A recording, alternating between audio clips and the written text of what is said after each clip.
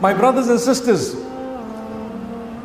the Quran, the duty that we have towards it is not just to recite it, not just to recite it, but it is to try and understand it, to implement it, to convey the message. A person was asking me, telling me, you know what, I cannot concentrate much in salah. Can you give me a remedy? Concentration in salah, you see, shaitan, shaitan is a, an expert in his field. You know, he has a PhD in his field. Shaitan has a very high degree in his field. You know what he does? He knows that now you are trying to plug with Allah subhanahu wa ta'ala. So as you're standing in salah and you say Allahu Akbar, he comes to you and he says, Hey, your phone is going to ring just now. So now you're worried about your phone ringing. Then he says, You know, it's getting a bit late. So now you're worried about the time. Then he says, Immediately after this, you have a meeting. So now you're worried about the meeting. Then he says, You're going to need to go and eat just now. The food is getting cold. He says, Now you're worried about the food and it getting cold. Then he says, You know, there is a sale somewhere down at the other shop. You need to go and buy the stuff before it is sold out. So now you're worried about the sale and the products. And shaitan keeps on. And when the Imam says Dallin, we say Ameen. We don't even know whether it's the end of Surah Al-Fatiha or another verse in the Quran. In Ramadan, I have witnessed the verses of the Quran that end with Dallin. There are verses of the Quran that end with Dallin. So sometimes people are sleeping in salah, literally sleeping, and the imam is not reading Surah Al-Fatiha, but in another place in the Quran, and he says, and the guys are saying, Ameen, but hang on, this is not even Surah Al-Fatiha. This is somewhere else in the Quran. But because we are tuned and trained that once you hear Dallin, you must just say Ameen. That's not what it is. It shows that concentration is zero, zero. Cannot do that. May Allah subhanahu wa ta'ala forgive us concentrate on the words.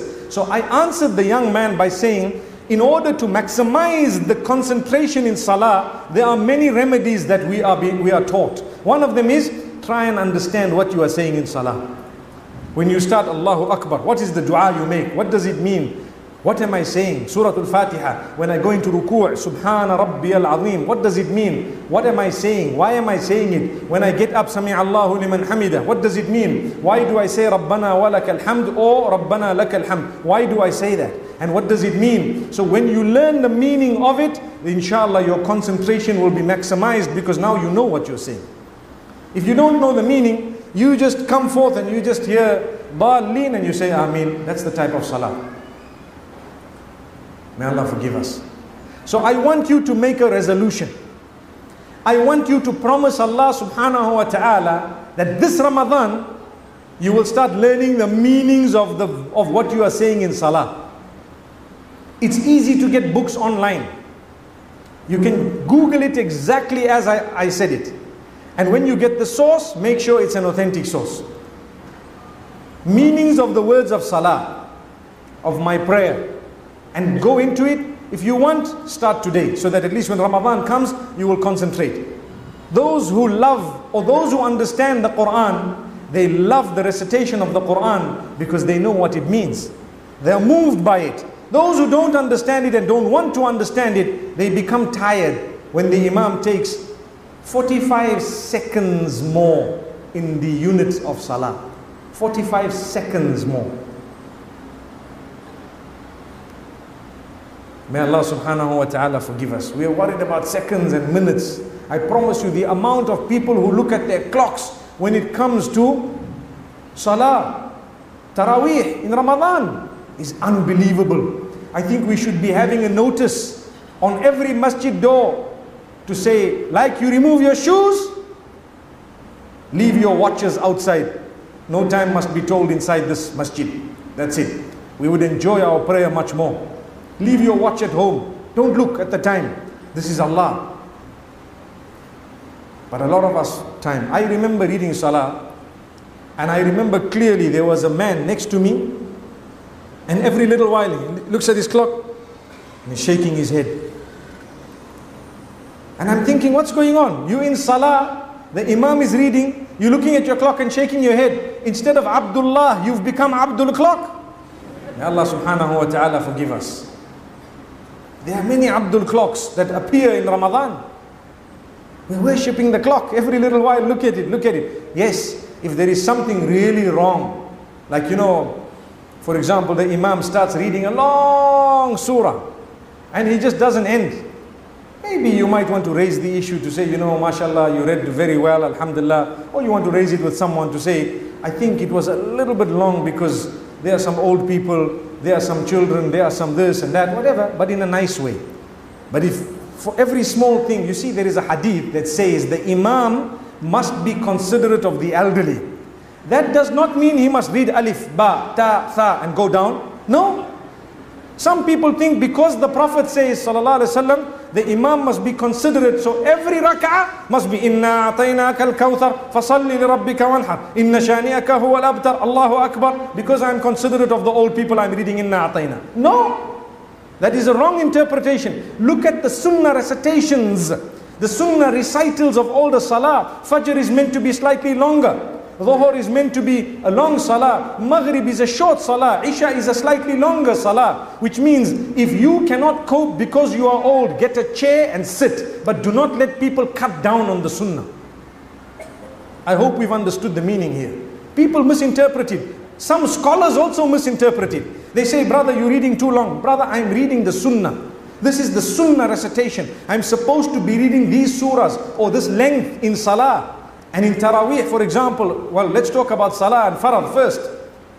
So, if you want me to, if I'm going beyond the Sunnah, you can encourage me to cut to the Sunnah. But if you want me to read Inna A'tayna every single Salah, then trust me, that is not what is meant by the Hadith, which says, take into consideration the elderly and the women and the children and so on, and the sickly. May Allah forgive us. So, let's become a little bit more active when it comes to acts of worship. When there is a football game, we get excited. We will watch the match up to late at night. And we don't mind. World Cup season comes the whole month. We are watching. We've got our teams. We are following people we don't know. And we are following people, if they saw us, they wouldn't even want to know us. And we're following them like they're our gods. Astaghfirullah.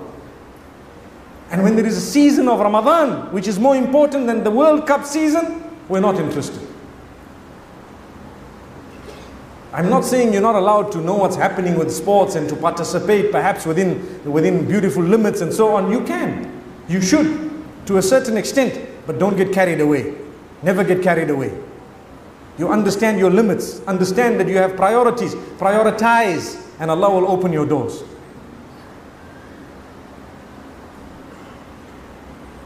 So, inshallah, we are making some resolutions here that we will start by the will of Allah subhanahu wa ta'ala learning what we are saying in salah. Is that fine? Have we agreed? Alhamdulillah. Alhamdulillah. I hope and pray that you will hold yourself accountable for your own yes. Maybe that's why some of us just kept quiet, isn't it? Have we all agreed? Yes. MashaAllah. Remember, you said yes. When you look in the mirror, tell yourself, I said yes. I, I said yes. Let me go back. So every time you look in the mirror, remind yourself, hey, I said I will learn the meanings of salah. We read five salah a day. I hope so. Some of us just read four and three. Some read two. Some read five a week. Some read five a year. You know, when we say there is Muslims should read five salah. Some people translate it as a day, a week, a month, a year. One wonders a lifetime. Allah knows best. May Allah forgive us. It is every single day. Wallahi, the benefit of prayer is huge. It is so big that you won't believe for you. It brings about calmness. When you can go into the prostration position known as sajda for the sake of Allah and you can declare His praise in that position and remain in there with a beautiful feeling, you see how you feel when you get up. You feel like Allah is yours and you belong to Allah. And that is the case. You feel so good. When we feel far from Allah, it's because we are the ones who've distanced ourselves. We don't want to read one line a day. I told you one line of the Quran a day. One line. It's no one can say that that's too much. Subhanallah. May Allah make it easy for us to fulfill